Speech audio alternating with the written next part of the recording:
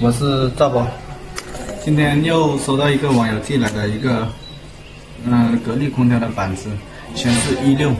呃，下面带大家看一下，啊，它到底是哪里的问题吧。好了，那就是这个板子了。现在我们插电看一下。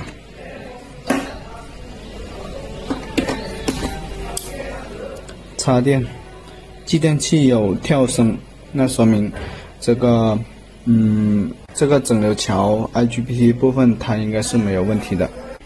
那我们检测看一下吧。好了，那这个灯它现在是闪了，闪了，但是这个它会显示一六一六，就是内外机通信故障嘛。那我们就测量一下，测量一下这个管子。它有没有电压跳变？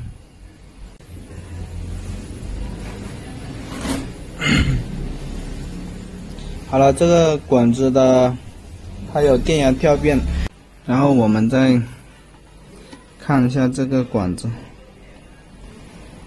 看它有没有电压跳变。这个还是有电压跳变的，这个就容易了，这个地方就没有多少颗元器件了。那下面我们一个一个排查看一下，到底是哪一个的问题吧。那刚才我们测量呢，这个管子，这个这个呃管子它有电压跳变，然后这这边这个管子有也有电压跳变，那说明它 CPU 是没有问题的。有问题的是在哪里呢？要么就是光耦问题，要么就是这个呃这个。这边的电压有问题，那我经过测量呢，发现，在光耦这边有一个二幺幺三五这个地方，呃，这个电阻是有问题的，呃，这个电阻是经常有问题的，但是把这个电阻拆掉，它还是可以的，因为它它出现的概率还是比较比较多的，它有问题的概率就比较多的，在线测量的话，你是测不出来。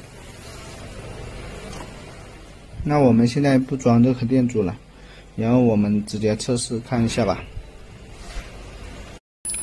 那好了，它现在已经启动了，然后这边它也显示正常了，然后压缩机也启动了，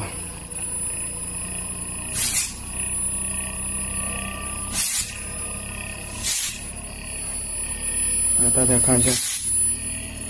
那这个板子的问题就出现在哪里了？就是，就是这颗电阻，就是这颗电阻了，这个二点二 K 的电阻了。嗯，这颗电阻它的作用是什么？我也不知道。但是这颗电阻经常有漏电的现象，然后把它给拆除，它就好了。但是为了不，为了它更加稳定，还。建议还是把这个二点二 K 的电阻重新换上一颗。那下面我们就把这个二点二 K 的电阻重新给它换上吧。好，那那么现在就可以了。这这个电阻呢，我已经给它换上新的了。然后这个压缩机也可以正常启动了。那说明这个板子。它坏的地方就是那颗电阻了，二点二 K 的电阻，然后没有别的，它现在已经正常了。好了，那这一期的视频呢，就跟大家分享到这里了，感谢大家的收看。